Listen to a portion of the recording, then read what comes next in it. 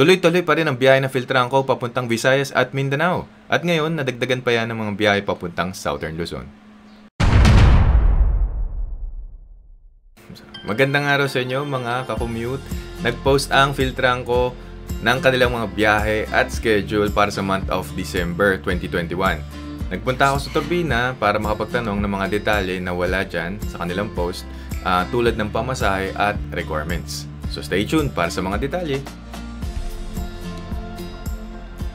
Umpisa natin sa biyaheng pa Southern Luzon na nagmumula sa PITX. May biyahe na ang Filtranco ah, papuntang Daet araw-araw ng alas 6 ng gabi. Kapag ikaw ay paluwas galing Daet, ang schedule ay alas 5 ng hapon. May biyahe na rin sila papuntang Tabaco ng alas 7 ng gabi.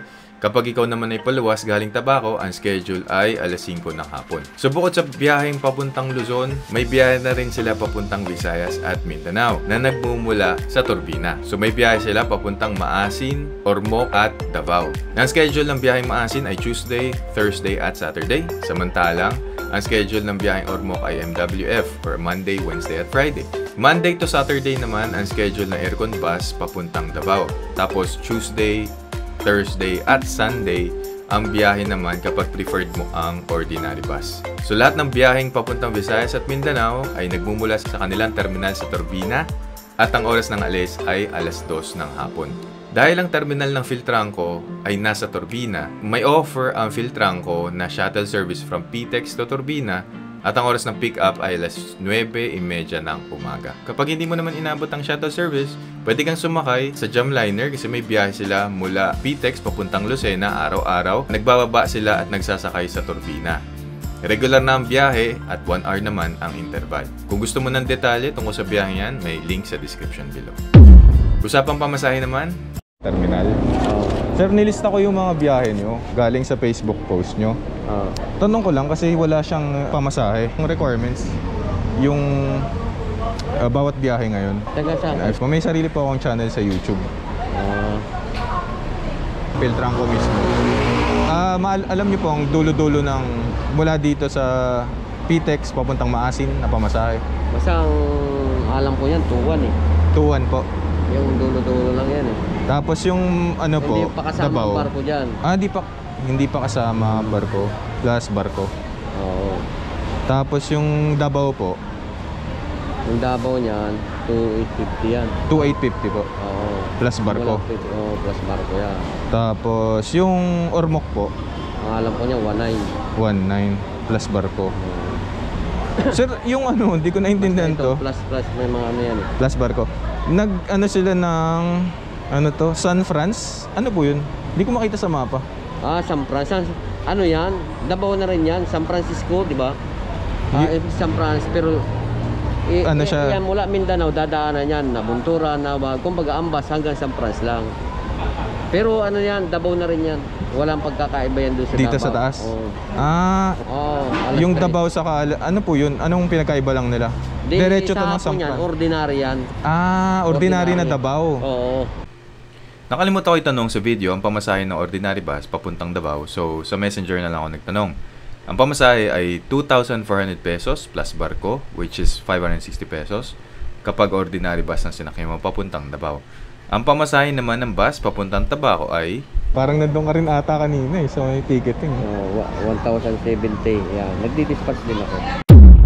So, paano ang booking?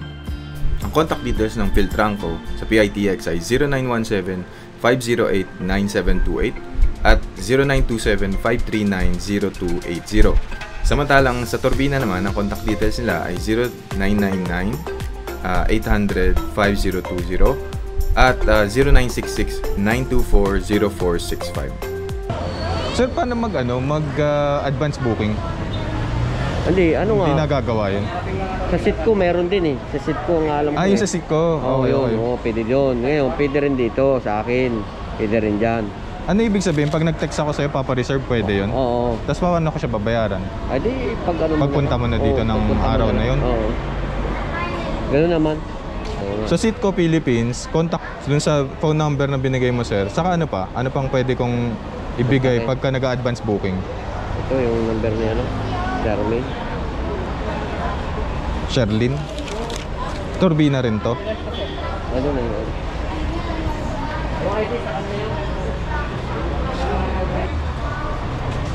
Paano pong number ni Sherlyn? Charmy. Ano pong pangalan? Charmy. Charmaine pala, sorry. Charmaine. 092 0926 Okay. 05 Okay. 520 57. Ang requirements naman ay, panoorin natin to. Sinilista ko po yun galing sa Facebook nyo. Kung makakahingi po sana ako ng requirements, yung maasin, ah, dabaw, ormok, CDO, Kasi ngayon pa ano-ano kasi ngayon eh. paiba-iba. Oo, ak- ang ano nila dyan, acceptance letter, tapos vaccinated na lang. Ang alin po dito? Ang La- vaccination. lahatin mo na lang. Lahat ano. na, ganun? Oo, para Bak- ano. Vaccination, Oo. Tapos, vaccination card, Acceptance letter. acceptance letter. Oo. Tapos pag wala pong ano,